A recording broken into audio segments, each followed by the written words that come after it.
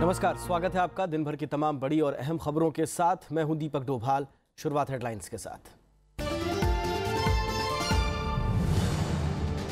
सरकार ने की एस एससी एक्टी एससी, एसटी एक्ट कानून में पुनर्विचार याचिका को बड़ी बेंच में भेजने की मांग। सुप्रीम कोर्ट में सुनवाई के दौरान कहा, विधायिका से पारित कानून के खिलाफ नियम नहीं बना सकती अदालत। सुप्रीम कोर्ट ने कहा, एससी, एसटी समुदाय हितों की रक्षा को पूरी तरह से पक्ष में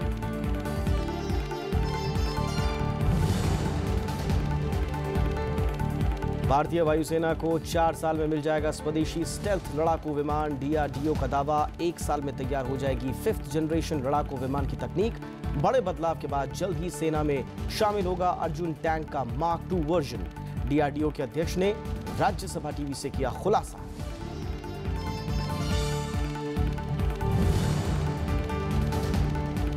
प्रधानमंत्री ने कहा, सिद्धरमैया सरकार ने कर्नाटक को कर्ज में डुबोया। कांग्रेस को बताया, दलितों, आदिवासियों और ओबीसी के खिलाफ जेडीएस को भी बताया सांप्रदायिक। राहुल गांधी ने कहा, केंद्र सरकार के सब वादे अधूरे।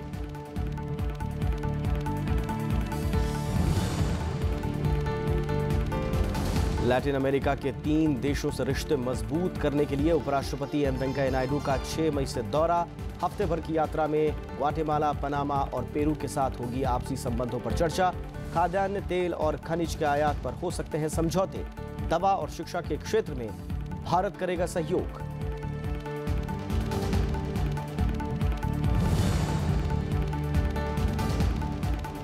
राष्ट्रपति रामनाथ कोविंद ने पैंसठवें राष्ट्रीय फ़िल्म पुरस्कार विजेताओं को किया सम्मानित। विनोद खन्ना को मरणोपरांत, दादा साहब फाल्के सम्मान। दिवंगत श्रीदेवी को मॉम के लिए सर्वश्रेष्ठ अभिनेत्री और रिद्धि सेन को सर्वश्रेष्ठ अभिनेता का पुरस्कार।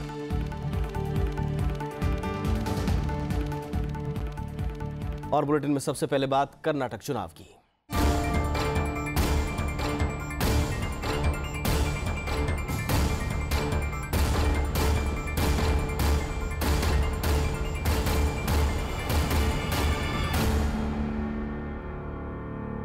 प्रधानमंत्री नरेंद्र मोदी ने कर्नाटक की कांग्रेस सरकार पर राज्य को कर्ज में डुबाने का आरोप लगाया है। उन्होंने कहा कि राज्य में सिद्धारमैया नहीं सिद्धार रुपैया सरकार है। साथ ही कांग्रेस पर दलितों, आदिवासियों, ओबीसी, किसानों की अनदेखी और शहीदों के अपमान का भी उन्होंने आरोप लगाया। प्रधानमंत्री नरेंद्र मोदी ने गुरुवार को कर्नाटक के कलबुर्गी, बेल्लारी और बेंगलुरु में रैलियाँ की। बेल्लारी में उन्होंने सिद्धारमैया सरकार पर भ्रष्टाचार को बढ़ावा देने का आरोप लगाया। प्रधानमंत्री ने कहा कि एक तरफ़ कर्नाटक की जनता कर्ज में डूब रही है और दूसरी तरफ़ कांग्रेस के मंत्रियों का खजाना भर रहा है। उन्होंने कांग्रेस पर खनन घोटाले के आरोपियों को टिकट देने का आरोप भी लगाया। ये रुपया सरकार के ही एक मंत्री पर खनन घोटाले का आरोप लगा। इस वजह से उन्हें इस्तीफा भी देना पड़ा। खनन घोटाले के कई आरोपियों को जिन्हें जेल तक जाना पड़ा था और उन्हें इस बार ये रुपया सरकार टिकट भी बांट रही है। प्रधानमंत्री ने कांग्रेस पर दलितों पिछड़ों और आदिवासियों की अनदेखी का आरोप भी लगाया। उन्होंने कहा कि कांग्रेस ने हमेशा इन वर्गों का वोट लिया है और बदले में उन्हें कुछ नहीं दिया। ये कांग्रेस पार्टी स्वभाव से वोट बैंक की राजनीति करने वाली स्वभाव ये दलितों की विरोधी है, ये आदिवासियों की विरोधी है। सिर्फ़ उनका उपयोग करना यही उनका खेल चलता है। और ये ओबीसी पिछड़े वर्गों की भी गौर दुश्मन पार्टी है। कलबुर्गी की रैली में प्रधानमंत्री ने सर्जिकल स्ट्राइक पर सवाल उठाने के लिए कांग्रेस को घेरा। प्रधानमंत्री ने कहा कि शहीदों का अपमान करना कांग्रेस का इतिहास रहा है। देश के शहीदों का अपमान करने की आदत रखने वाली, देश के वीरों का अपमान करने की आदत रखने वाली, मातृभूमि के लिए जी जान से मरने मिटने वालों को बुला देने वाली कांग्रेस ने सर्जिकल स्ट्राइक के लिए भी सवाल या निशान खड़े कर दिए और कहा, मोदी जी जरा सबूत लाइए सबूत लाइए। प्रधानमंत्री ने कहा कि बीजेपी पर हमेशा उत्तर भारत की पार्टी होने का आरोप लगता रहा है, लेकिन पार्टी ने दक्षिण के लोगों को हमेशा अहमियत दी है। उन्होंने कहा कि कर्नाटक से राज्यसभा के लिए चुनी गई निर्मला सीतारमण देश की पहली महिला रक्षा मंत्री हैं। यही नहीं, पार्टी ने दक्षिण भारत से आने वाले डॉक्टर एपीजे अब्दुल कलाम को राष्ट्रपति और एम वेंकैया नायडू को उपराष्ट्रपति बनाया। Bureau report Rajya Sabha TV. प्रधानमंत्री नरेंद्र मोदी ने बेंगलुरु की रैली में जेडीएस पर भी निशाना साधा। उन्होंने कहा कि जेडीएस ने बाहरी सांप्रदायिक ताकतों से गठबंधन कर कर्नाटक के भविष्य को दांव पर लगाने का काम किया है। उन्होंने लोगों को आगाह किया कि सबको पता है कि जेडीएस सरकार नहीं बना सकती इसलिए उसके लिए कोई वोट बर्बाद नहीं करें। अब जेडीएस किसी भी हालत में सरकार नहीं बना सकती है, कांग्रेस को नहीं हटा सकती है, कर्नाटक का भाग्य नहीं बदल सकती है, ये सबका मत है। तो जेडीएस को वोट देकर के अपना वोट खराब करने का काम कर्नाटक का कोई भी बुद्धिमान व्यक्ति कर सकता है क्या? वहीं कांग्रेस अध्यक्ष राहुल गांधी ने आरोप लगाया है कि बीजेपी सरकार की कथनी और करनी में फ़र्क है। उन्होंने कहा कि नरेंद्र मोदी सरकार ने एक भी वादा पूरा नहीं किया। राहुल गांधी आज कर्नाटक के औरद और बल्कि के अलावा कई जगहों पर रैलियाँ करने पहुँचे। उन्होंने कहा कि कर्नाटक सरकार ने विकास के जो काम किए हैं, बीजेपी के पास उसकी कोई काट नहीं है। इसलिए बीजेपी के नेता बेतुके आरोप लगा रहे हैं। हर बैंक अकाउंट पे पंद्रह लाख रुपए डालूँगा, नहीं डाला। दो करोड़ युवाओं को रोज़गार दूँगा, नहीं दिया। किसानों को सही दाम दूँगा, नहीं दिया। किसानों का कर्जा माफ़ करूँगा, नहीं किया। और करते क्या है? पंद्रह लोगों की मदद। पंद्रह लोगों की मदद। रेड्डी ब्रदर्स की मदद। भ्रष्ट लोगों को अपने स्टेज पे खड़ा करेंगे। ये फ़र्क है। कांग्रेस ने आज चुनाव आयोग में कर्नाटक में बीजेपी के विज्ञापनों की शिकायत की। पार्टी ने कहा कि बीजेपी के विज्ञापनों में राज्य का माहौल बिगाड़ने की कोशिश की जा रही है। कांग्रेस ने बीजेपी के विज्ञापनों को आचार संहिता का उल्लंघन बताया और इस पर तुरंत रोक लगाने की मांग की। ये सिर्फ़ मॉडल कोड ऑफ़ कॉन्डक्ट का उल्लंघन नहीं है, ये क्रिमिनल एक्ट है और हम निश्चित रूप से प्रादेशिक स्तर पे हमारे पीसीसी के ज़रिए इसके विषय में भी कंप्लेंट, प्राइवेट कंप्लेंट, एफआईआर करवाएँगे। सुपारी, कागज़ और रबर जैसी व्यावसायिक फ़सलों के दाम गिरने से कर्नाटक के दक्षिण कन्नड़ ज़िले के किसान परेशान हैं।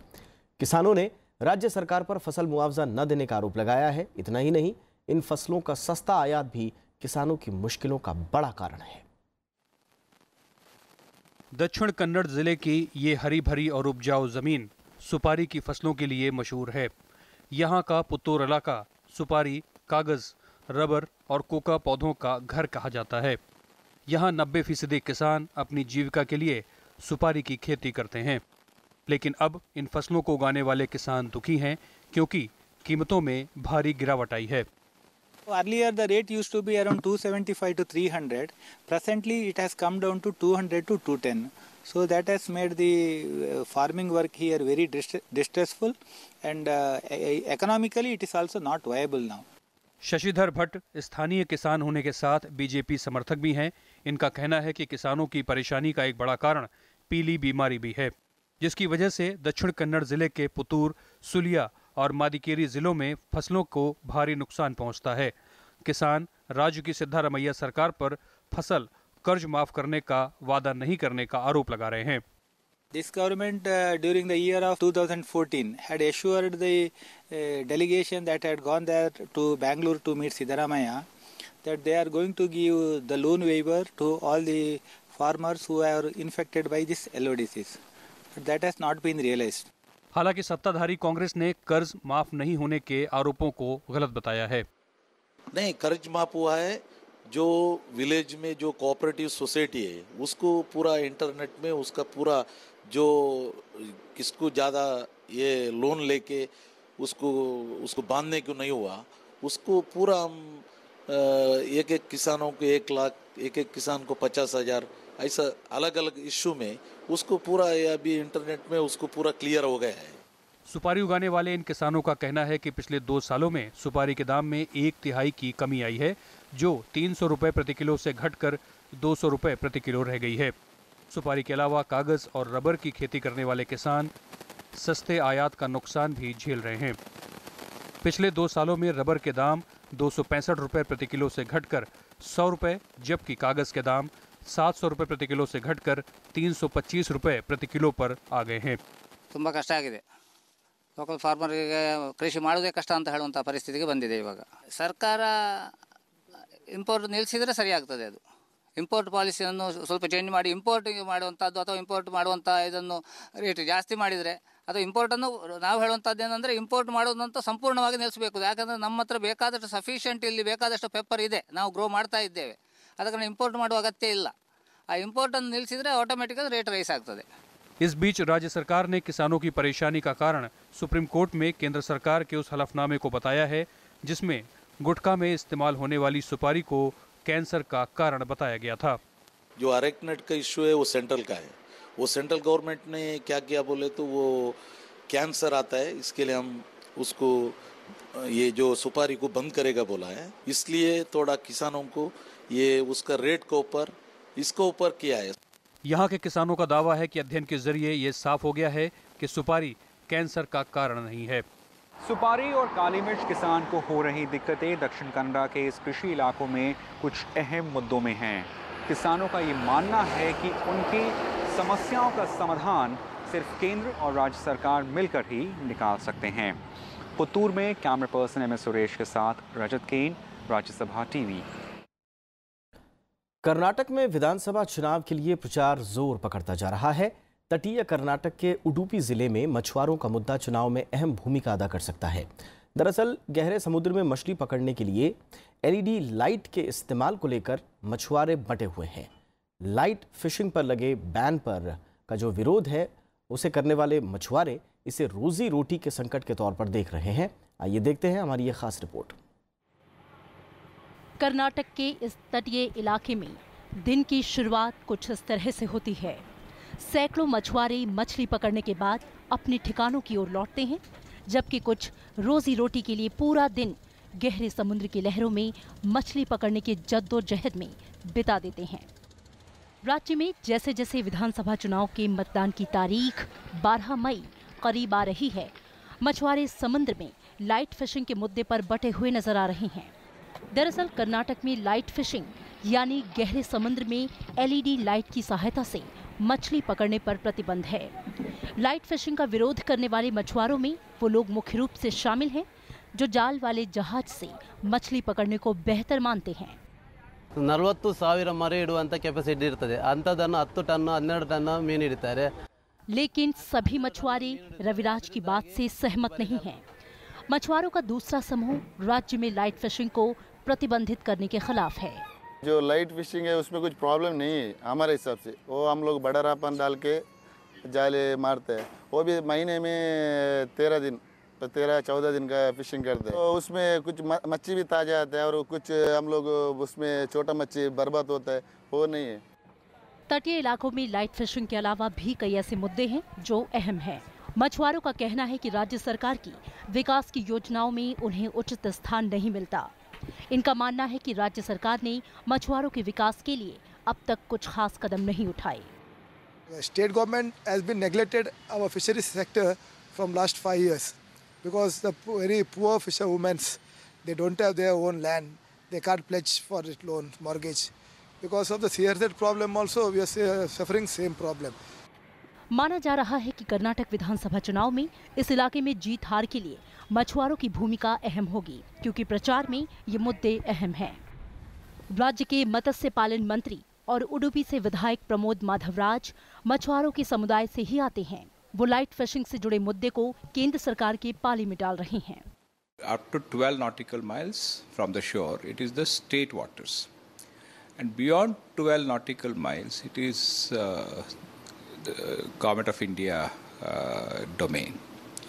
So government of India has to take any stand on the fishing policy beyond 12 nautical miles. So it is it doesn't come under the state government. So government of India has banned bull trawling and uh, light fishing. राज्य सरकार मछुआरों की परेशानियों के लिए केंद्र को जिम्मेदार बता रही है देखना दिलचस्प होगा कि अपनी रोजी रोटी को लेकर फिक्रमंद मछुआरे चुनाव में किस पार्टी का साथ देते हैं रजत केन के साथ bureau report, Udupi Rajya Sabha TV.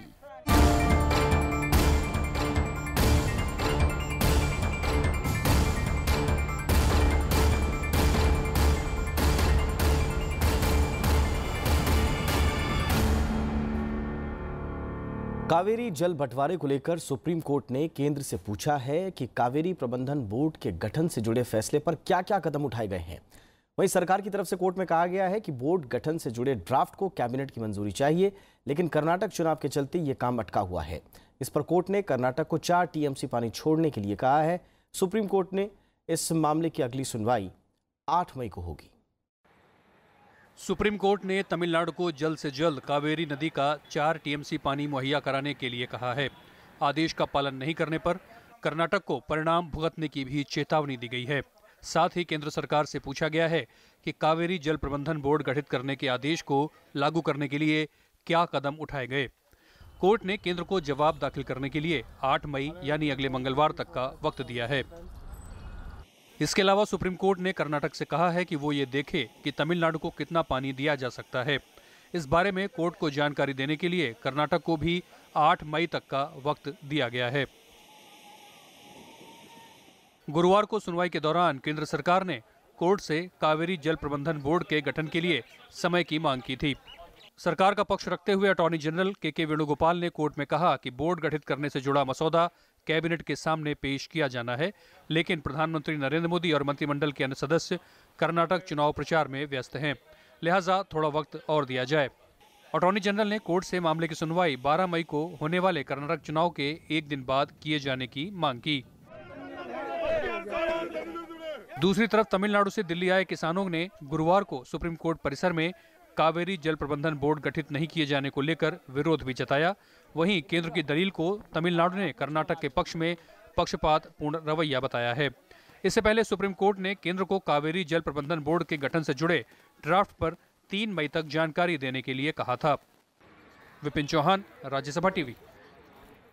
Himachal Pradesh के कसौली में सहायक टाउन प्लानर शैल बाला शर्मा की हत्या के आरोपी होटल मालिक विजय कुमार को आज मथुरा से गिरफ़्तार कर लिया गया। हिमाचल और दिल्ली पुलिस की साझा कार्रवाई में उसे गिरफ़्तार किया गया। बुधवार को वारदात को अंजाम देने के बाद से ही विजय फरार था। इस बीच सुप्रीम कोर्ट ने शैल बाला शर्मा की हत्या से जुड़ी जाँच पर राज्य सरकार से स्टेटस रिपोर्ट मांगी है। साथ ही राज्य सरकार से अवैध निर्माण हटाने के लिए उठाए गए कदमों की जानकारी भी मांगी गई है। शीर्ष अदालत ने पूछा है कि कसौली में तेरह होटलों में अवैध निर्माण गिराने के लिए क्या कदम उठाए गए हैं?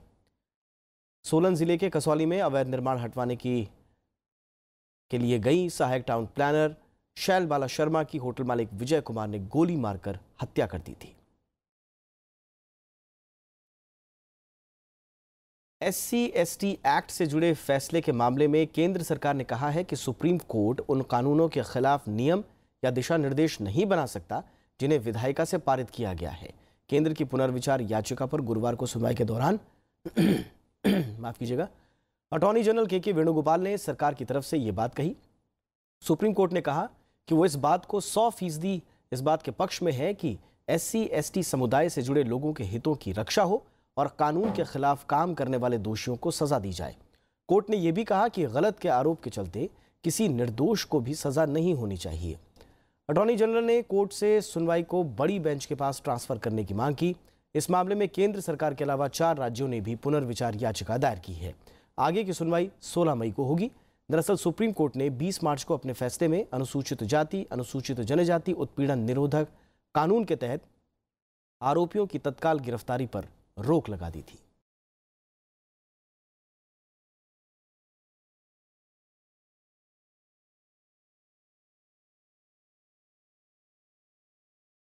केंद्र ने नक्सल पीड़ित इलाकों में विकास कामों में तेज़ी लाने को कहा है। इसके लिए केंद्रीय गृह मंत्रालय ने 10 राज्यों के मुख्य सचिवों को चिट्ठी लिखी है। इसमें कहा गया है कि सड़कों, पुलों, स्कूल भवनों, आंगनबाड़ी केंद्रों और प्राथमिक स्वास्थ्य केंद्रों के साथ ही मोबाइल टावर लगाने के काम में तेज़ी लाई जाए। साथ ही पीने की, पानी की आपूर्ति और सार्वजनिक जगहों पर रोशनी की व्यवस्था जैसे काम तुरंत पूरे किए जाएँ। बीते दिनों केंद्रीय गृह मंत्री राजनाथ सिंह की अगुवाई में हुई अंतर मंत्रालय समूह की बैठक में पर्यावरण मंजूरी देने के लिए राज्यों को ज़्यादा अधिकार दिए गए हैं। इसके लिए दिशा निर्देश भी जारी किए गए हैं। केंद्र सरकार नक्सल पीड़ित 35 जिलों के विकास के लिए हर साल 1000 करोड़ रुपए की मदद देती है। माइक्रोसॉफ्ट के संस्थापक बिल गेट्स ने आधार की तारीफ़ की है। उन्होंने कहा है कि इससे निजता को कोई खतरा नहीं है। बिल गेट्स के मुताबिक भारत की आधार योजना को दूसरे देशों में भी लागू करने की ज़रूरत है। इसके लिए बिल और मिलिंडा गेट्स फाउंडेशन विश्व बैंक को वित्तीय मदद मुहैया करा रहा है। आधारभूत ढांचा तैयार करने में अहम भूमिका निभाने वाले नंदन नीलेकणी ने इस मसले पर विश्व बैंक की मदद भी कर रहे हैं। बिल गेट्स ने कहा कि आधार के कई फ़ायदे हैं और इसलिए इसे दूसरे देशों तक पहुँचाने की ज़रूरत है।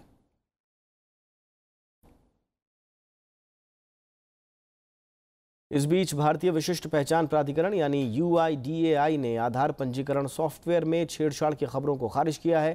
प्राधिकरण ने कहा है कि आधार पंजीकरण और उसमें सुधार के लिए कड़ी प्रक्रिया का पालन किया जाता है।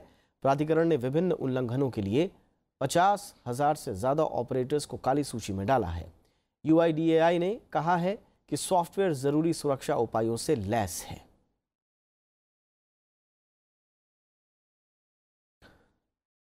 देश के कई इलाकों में तेज आंधी और तूफ़ान से जान माल को नुकसान हुआ है। देश में आंधी और बारिश की वजह से सौ से ज़्यादा लोगों की मौत हो गई है, जबकि दर्जनों लोग घायल हैं। मौसम विभाग ने अगले 48 घंटों में फिर से आंधी तूफ़ान की आशंका जताई है। राष्ट्रपति, उपराष्ट्रपति और प्रधानमंत्री ने आपदा पर दुख जताया है। देश के उत्तरी और पश्चिमी हिस्सों के कई इलाकों में बुधवार को आई तेज आंधी ने लोगों के आशियाने उजाड़ दिए। आंधी के साथ तेज बारिश से भारी जानमाल का नुकसान हुआ है। आंधी तूफ़ान के चलते उत्तर प्रदेश में चौसठ लोगों की मौत हो गई, जबकि सैतालीस लोग घायल हो गए। आगरा में सबसे ज़्यादा तैतालीस लोगों की मौत हुई है, जबकि सहारनपुर में दो, बरेली, रामपुर और मुरादाबाद में एक एक मौत हुई है। हताहतों की संख्या और भी बढ़ सकती है। मुख्यमंत्री योगी आदित्यनाथ ने अधिकारियों को निर्देश दिया है कि वो व्यक्तिगत रूप से राहत कार्यों की निगरानी करें और पीड़ित लोगों को इलाज मुहैया कराएँ। मुख्यमंत्री ने अधिकारियों को किसानों के नुकसान का आकलन करने के लिए भी कहा है। मुख्यमंत्री जी के स्पष्ट निर्देश हैं और हमने यह सभी कलेक्टर साहबान, कमिश्नर साहबान से ये संदेश पहुँचाया है कि आगामी 24 घंटे के अंदर जितने भी लोग जहाँ, जिन, जो हताहत हुए हैं, उन्हें जो रिलीफ जो है वो पहुँचाने का काम करें। और डेथ के केस में हम चार लाख रुपया का मुआवजा देते हैं। इंजरी के इंजरी में हम फिफ्टी थाउज़ेंड के आसपास हम देते हैं और उनका मुकम्मल इलाज हो। राजस्थान के भी कई जिलों में बुधवार को आई आंधी ने भारी तबाही मचाई है। आंधी और बारिश की वजह से प्रदेश में 33 लोगों की मौत हो गई, जबकि 100 से ज़्यादा लोग घायल हो गए। धौलपुर ज़िले में सबसे ज़्यादा 17 लोगों की मौत हुई है। पिताजी श्रीलाल प्रेमवती माता जी मेरी दीवार के नीचे दब के खत्म हो गई बहुत अंदर से नुकसान हुआ है। मुख्यमंत्री वसुंधरा राजे ने गहरा दुख जताते हुए प्रशासन को हर मुमकिन मदद पहुँचाने के निर्देश दिए हैं। राज्य सरकार ने मृतकों के परिजनों के लिए चार चार लाख रुपए की आर्थिक मदद का ऐलान किया है। करीब सात से आठ हज़ार बिजली के खंभे गिर गए हैं। करीब चालीस से पचास बिजली के बड़े टावर जो हैं वो गिर गए हैं। 20 से 25 ट्रांसफार्मर जो हैं, वो जो माउंटेड हैं, वो गिर गए हैं नीचे। तो बिजली विभाग की वजह से जो पानी की भी आपूर्ति है, वो भी बाधित है। अभी बिजली विभाग कल रात से सबसे पहले उनको निर्देश दिए गए थे कि जिला हॉस्पिटल को रिस्टोर करें, ताकि उपचारों, उपचार मिल सके। रात को ही जिला हॉस्पिटल रिस्टोर हो गया था। ओडिशा में भी बारिश की वजह से तीन लोगों की जान चली गई, जबकि कई लोग घायल हो गए। मौसम विभाग ने अगले 48 घंटे में उत्तर प्रदेश और राजस्थान के कई इलाकों में फिर से आंधी और तूफ़ान की आशंका जताई है। राष्ट्रपति और प्रधानमंत्री ने इस प्राकृतिक आपदा पर गहरा दुख जताया है। प्रधानमंत्री नरेंद्र मोदी ने अधिकारियों को संबंधित राज्य सरकारों के साथ मिलकर पीड़ितों को मदद पहुँचाने को भी कहा है। Bureau report, Rajya Sabha TV. Bihar में आज एक सड़क हादसे में कम से कम 27 यात्रियों की मौत हो गई। घटना चंपारण ज़िले के कोतवा थाना इलाके की है। यहाँ एक बस सड़क के किनारे गड्ढे में गिर गई। जिसके बाद बस में आग लग गई और इसमें सवार यात्री आग की चपेट में आ गए।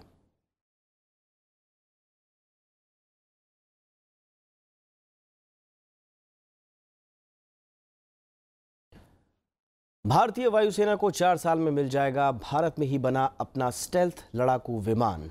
डीआरडीओ के अनुसार इस फिफ्थ जनरेशन लड़ाकू विमान की तकनीक अगले एक साल में बनकर तैयार हो जाएगी और अगले सात सालों में इस विमान का उत्पादन भी शुरू हो जाएगा।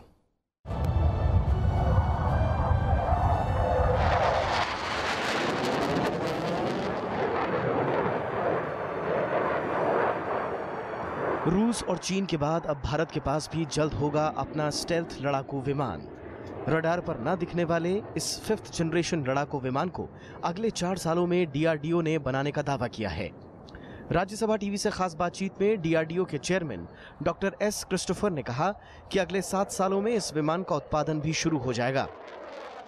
There are hotspots we say like for air intake is one of the hotspot we we are trying to put in the existing aircraft to see the difference so in both the ways we are progressing we believe in case the technology demonstrated project is clear by the government of India in about a four to five years time we will have a prototype In a seven years time, we will be able to clear for a series production. Doctor Christopher इस बात से भी बहुत उत्साहित दिखे कि भारत में ही बनाई गई आर्टिलरी गन सिस्टम एटीएजीएस बहुत ही सफल रही है और इसकी मारक क्षमता बोफोर्स के मुकाबले कहीं ज़्यादा है कुछ समय पहले ही पोकरण टेस्ट रेंज में इस आर्टिलरी गन से निकले गोलों ने 47 किलोमीटर दूर लक्ष्य को ध्वस्त कर दिया था Likewise, if you look at Arjun, Mark 1 was there, now Mark 2 also will go. We are now already working on again equivalent to Bofors gun after 40 years later. It's going to be an attacks, we call it, uh, DRDO attacks gun. And two companies already is with us or working together with us, and we will be in a position to do that. In a major way, it has have an impact on already.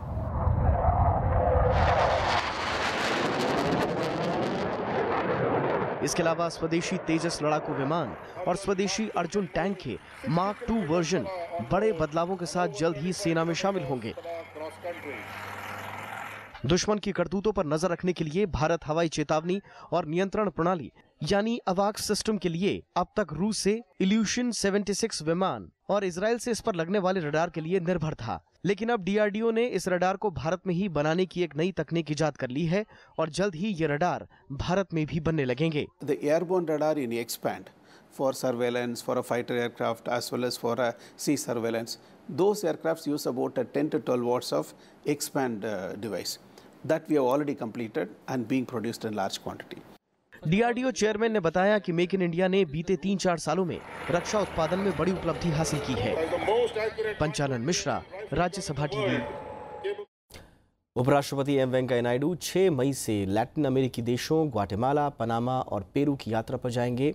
यात्रा के पहले चरण में उपराष्ट्रपति अगले रविवार, यानी 6 मई को ग्वाटेमाला पहुँचेंगे। दो दिनों की ग्वाटेमाला यात्रा में उनकी मुलाकात, अपने समकक्ष जफेद कैबरेरा से होगी। इस दौरान आपसी क्षेत्रीय और अंतर्राष्ट्रीय मुद्दों पर चर्चा की जाएगी। भारत और ग्वाटेमाला के बीच वन्य जीवों के संरक्षण, शिक्षा और प्रशिक्षण के क्षेत्रों में समझौते होने की उम्मीद है।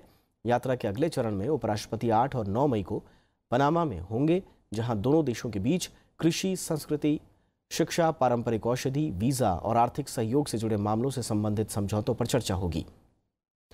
उपराष्ट्रपति की तीन देशों की यात्रा में पेरू आखिरी पड़ाव होगा 10 और 11 मई को उपराष्ट्रपति एम वेंकैया नायडू पेरू के राष्ट्रपति उपराष्ट्रपति प्रधानमंत्री और विदेश मंत्री के साथ मुलाकात करेंगे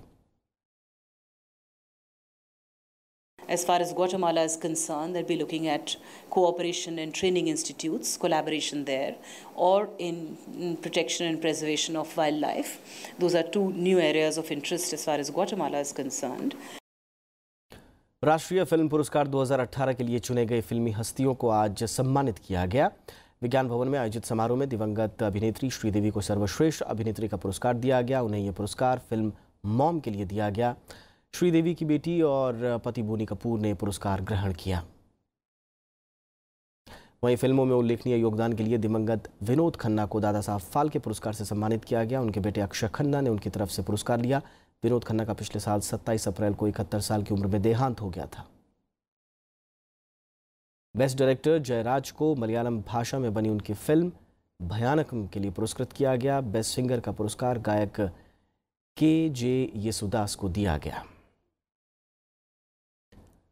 और बंगाली फ़िल्म नगर कीर्तन में अभिनय के लिए अभिनेता रिद्धि सेन को सर्वश्रेष्ठ अभिनेता के लिए चुना गया। फ़िल्म न्यूटन को बेस्ट हिंदी फीचर फ़िल्म का अवार्ड मिला। वहीं मशहूर फ़िल्म बाहुबली टू को तीन पुरस्कारों से नवाजा गया। वहीं बेस्ट म्यूज़िक डायरेक्टर का अवार्ड ए आर रहमान को दिया गया। विश्व प्रेस स्वतंत्रता दिवस पर यूनेस्को ने दुनिया भर में पत्रकारों की हत्या पर चिंता जताई है। यूनेस्को की रिपोर्ट के अनुसार, साल 2012 से 2016 के बीच दुनिया के अलग अलग देशों में 530 पत्रकारों की हत्या हुई, जिसमें 18 भारतीय पत्रकार भी हैं। रिपोर्ट में यह भी बताया गया है कि 2007 से 2011 के बीच 316 पत्रकारों की हत्या हुई। भारत सरकार ने साफ़ कर दिया है कि फेसबुक डेटा लीक के लिए विवादों में रही ब्रिटिश कंपनी कैम्ब्रिज एनालिटिका के कामकाज बंद करने के ऐलान के बाद भी उसके खिलाफ जाँच जारी रहेगी। आपको बता दें कि कंपनी ने ब्रिटेन और अमेरिका में खुद को दिवालिया घोषित करने के लिए आवेदन देने की बात कही है। कंपनी की ओर से जारी बयान में कहा गया है कि उस पर लगे आरोप आधारहीन है, लेकिन नकारात्मक मीडिया रिपोर्टिंग के चलते ग्राहक न होने की वजह से उसे अपना व्यवसाय बंद करना पड़ा है।